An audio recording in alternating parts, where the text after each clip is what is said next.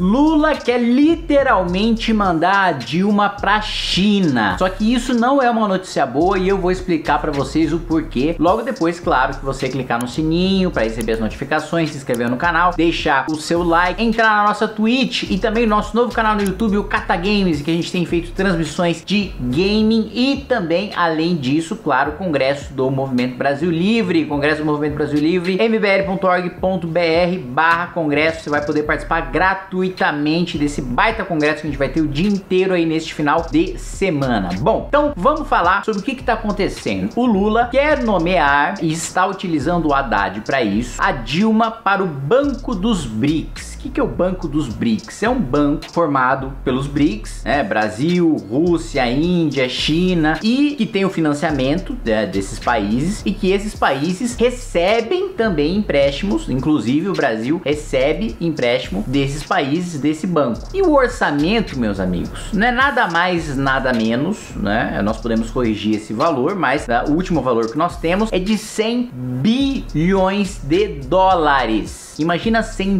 bilhões de dólares nas mãos de Dilma Rousseff. Dilma foi a pior presidente da história do país. Saiu com a maior rejeição, foi a responsável pela maior crise econômica da história do país. Isso inclusive superando a pandemia. Nenhuma pandemia foi capaz de produzir uma crise econômica tão grave quanto a que a Dilma Rousseff causou no Brasil. E ela, com perdão do trocadilho ou da piadoca, não vai ser competente nem aqui nem na China, onde fica a sede dos BRICS, né? E querem mandar ela para comandar esse banco e mais, o Lula não tem o direito de fazer essa nomeação. Quem está nomeado hoje para o banco dos BRICS, né, é o Truirro, Marcos Truirro, que tem um mandato de cinco anos e o mandato dele não acaba agora. O Lula não tem o direito de nomear agora, mas ele está utilizando o Fernando Haddad, sua marionete. A gente sempre soube que o Haddad é um poste que não manda em absolutamente nada, não tem capacidade para gerir absolutamente absolutamente nada. A gente viu a cidade de São Paulo como ficou destruída após a gestão do Haddad. Está utilizando o Haddad para pressionar o Truirro a renunciar ao cargo. Veja só, Lula não tem o direito de nomear o presidente é, do Banco dos BRICS e quer que o atual presidente, que tem mandato, renuncie para ele colocar a Dilma. Olha o absurdo disso, a Dilma administrando 100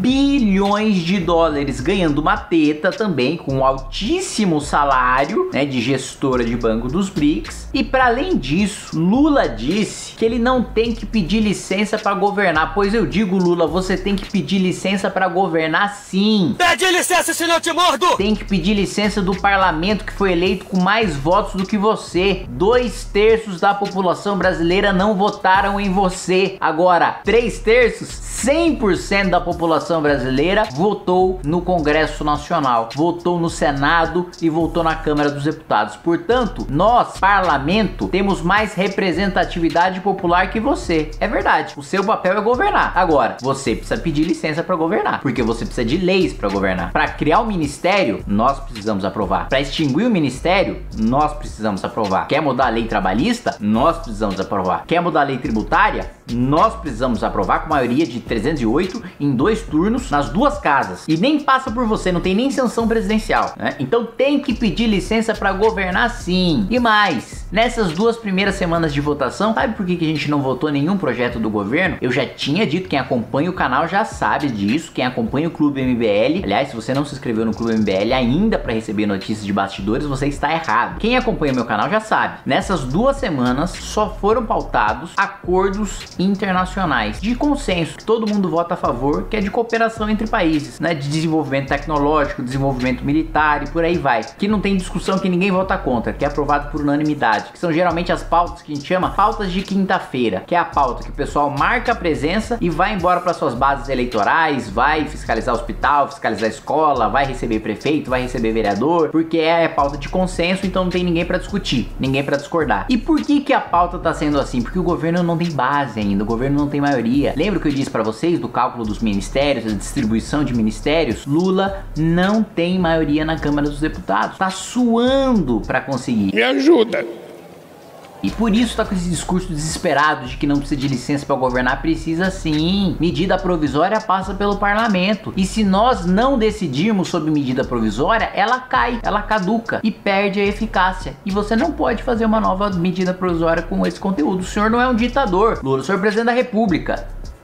Ah, ainda diz que não estou aqui para agradar, tá sim. Você é presidente da República, você tem que agradar todo mundo, inclusive quem não votou em você. O presidente da República representa o país inteiro, quem votou e quem não votou nele. Assim como o governador representa o estado inteiro, quem votou, quem não votou nele. O senador é a mesma coisa. O senador um pouco menos, que ele ainda tem uma linhagem, um segmento ideológico, mas ainda assim tem uma representatividade maior do que um deputado federal. Uh, um prefeito tem que representar a cidade inteira, quem votou e quem não votou nele. É a mesma mesma coisa presidente da República. Dar esse tipo de afirmação só mostra que Lula não tem capacidade, não tem porte, não tem postura para ser presidente da República. E o fato dele ainda não ter maioria é ótimo, é excelente para nós. Quanto menos projetos, medidas provisórias nós tivermos tramitando do, do governo na Câmara dos Deputados, mais vitórias nós temos. Só da gente não estar votando matérias do governo, de interesse do governo, já é uma vitória. Nós já temos, já podemos vamos comemorar as nossas primeiras vitórias né, em cima do governo Lula, que não tem maioria e que nós vamos trabalhar aqui na Câmara dos Deputados. Mesmo se conseguir formar a maioria, vamos obstruir e vamos usar a população para pressionar e para a gente conseguir derrotar o governo, mesmo com ele distribuindo cargo a dar com pau para ter maioria. Me ajuda!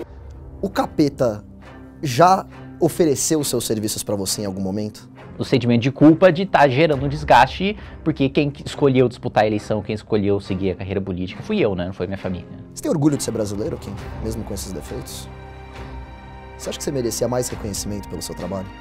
Primeiro, uma sensação muito grande de injustiça, né? Das pessoas me colocarem como colocarem o monarca como nazistas e não tinha nem, absolutamente ninguém defendendo o nazismo. Kim, qual é, hoje, o seu maior medo? Eu acho que era muito jovem para é, perder o pai. para perder o pai.